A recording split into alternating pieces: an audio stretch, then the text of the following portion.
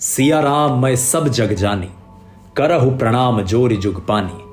प्रिय विद्यार्थियों, नमस्कार। मैं हूँ विवेक और इस संदेश के ज़रिए इस सेशन में आपके समक्ष उपस्थित हूँ। यह हम सबके लिए गर्व का और भावुक होने का क्षण है कि करीब पाँच शताब्दियों के पश्चात ऐसा गौरवमय क्षण आया है, जहाँ भगवान श्री राम के भव्य मंदिर में राम लला का प्राण प्रतिष्ठा समारोह आयोजित हो रहा है। लेकिन एक विद्यार्थी के रूप में हमें इस क्षण में कुछ ऐसी चीज़ें सीखनी चाहिए। भगवान श्री राम के चरित्र से, उनके संघर्ष से, जो हमें हमारे लक्ष्य को प्राप्त करने में न सिर्फ़ मदद करे, बल्कि जीवन में भी एक श्रेष्ठ व्यक्ति बनने की प्रेरणा दे। मुझे एक दृश्य याद आ रहा है, एक कहानी। हो सकता है आपने सुनी हो हो सकता है ना भी सुनी हो। ध्यान से सुनिएगा। राम और रावण के बीच में लंका में जो युद्ध हुआ, वो समाप्त हो चुका था। रावण की मृत्यु होने ही वाली थी। तो रावण ने हाथ जोड़कर भगवान श्री राम से कहा कि मैं आपसे कुछ पूछना चाहता हूँ। मैं हर मामले में आपसे श्रेष्ठ हूँ। फिर ऐसा क्यों हुआ कि मैं हार गया और आप जीत गए?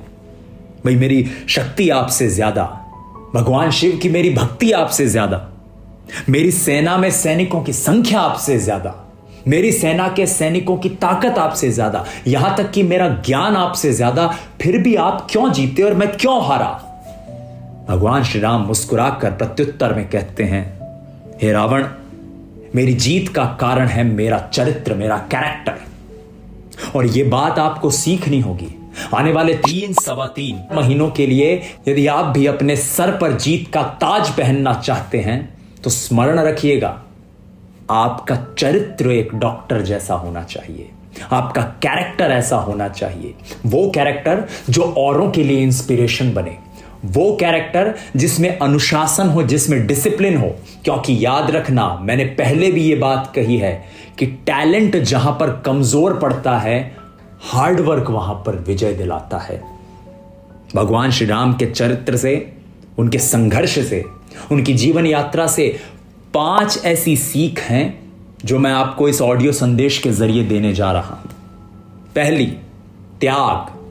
याद रखिएगा, भगवान श्री राम के कैरेक्टर की सबसे बड़ी खूबी थी त्याग। चौदह वर्ष का त्याग था, वनवास था चौदह वर्ष का, और उसकी परिणति किस रूप में होती है? तीनों लोकों में मर्यादा पुरुषोत्तम भगवान श्री राम के नाम से पूजे जाते हैं। आप भी एक वनवास ही जी रहे हैं। और आपका वनवास अब करीब तीन सवा तीन महीनों का बचा है। तो याद रखिएगा आपके वनवास की परिणति भी किस रूप में होगी? कि इस आज के युग में जिस व्यक्ति को भगवान का दर्जा दिया जाता है डॉक्टर वो आप बनेंगे। तो ज़िंदगी में त्याग को एक्सेप्ट कीजिए। दुखी मन से नहीं बल्कि प्रफुल्लता से, क्योंकि आज जो त्याग आप झेलेंगे, जिसे एक्सेप्ट करेंगे, वही एम्पलीफाई होकर रिटर्न में आपको आपकी ज़िंदगी की सबसे बड़ी खुशियाँ देने वाला है। दूसरी सीख जो भगवान श्री राम के चरित्र से हमें सीखनी चाहिए, वो है चुनौती चैलेंजेस हमारे सामने कोई नया क्वेश्चन कोई नया टॉपिक कोई नया कॉन्सेप्ट आता है तो हम घबरा जाते हैं कि अरे इसको कैसे पढ़ेंगे? मेरी तो मैथ्स पुअर है, मेरी फिजिक्स तो अच्छी होनी ही नहीं है। मुझे तो रिएक्शंस याद ही नहीं होती, मुझसे तो रिडॉक्स रिएक्शन बैलेंस नहीं होती। भगवान श्री राम से सीखिए, राजा बनने जा रहे थे।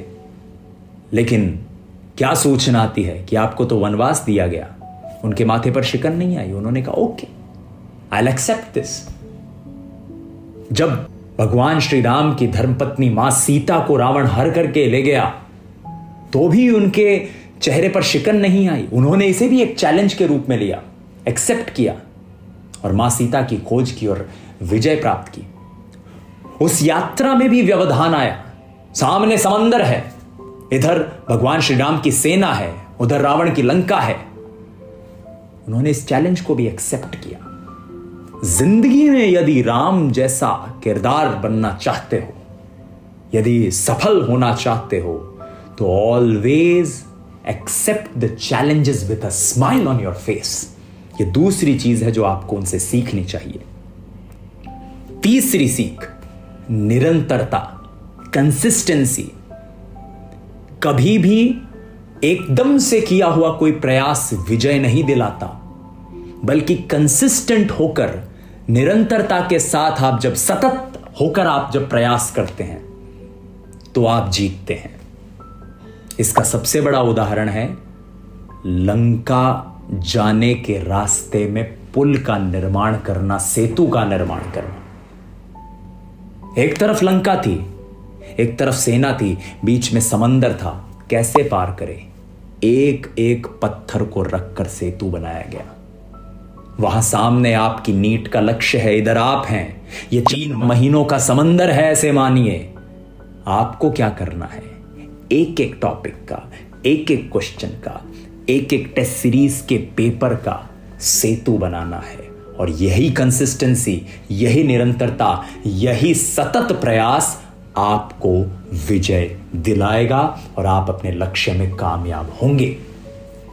चौथी चीज़ जो आपको उनसे सीखनी चाहिए, वो है इंपॉर्टेंस ऑफ़ एवरीथिंग हम अपनी ज़िंदगी में, अपने कॉम्पिटेटिव एग्ज़ाम की प्रिपरेशन में खुद से ही एक माइंडसेट बना लेते हैं। भाई, ये टॉपिक तो अच्छे हैं, ये टॉपिक इंपॉर्टेंट नहीं है। चाहे टीचर ने कहा हो, चाहे नहीं कहा हो। हमने पता नहीं कहाँ से दुनिया जहान का ज्ञान ले लिया और हम अपने हिसाब से एक चीज़ों को मैनिपुलेट कर लेते हैं। तो याद रखना, ये बात भगवान श्री राम से सीखिए। रावण की सेना में ज़्यादा ताकतवर, ज़्यादा शक्तिशाली योद्धा थे। भगवान श्री राम के पास कौन थे? वानर, भालू, यही तो थे, जिनको ढंग से लड़ना भी नहीं आता था। लेकिन वही अनऑर्गेनाइज्ड लोगों की सेना, रावण की सेना पर विजय प्राप्त करती है। क्यों? क्योंकि भगवान श्री राम ने यह बात समझी कि जो भी समक्ष आया है एवरीथिंग इज़ इंपॉर्टेंट मुझे यह नहीं सोचना है कि वानर थोड़ी लड़ पाएँगे, भालू थोड़ी लड़ पाएँगे। आपको भी यही चीज़ सोचनी है। अपने हिसाब से मत सोचिए कि ये टॉपिक इंपॉर्टेंट नहीं है, ये कॉन्सेप्ट इंपॉर्टेंट नहीं है, ये क्वेश्चन इंपॉर्टेंट नहीं है, इस सेक्शन से क्वेश्चन नहीं आता।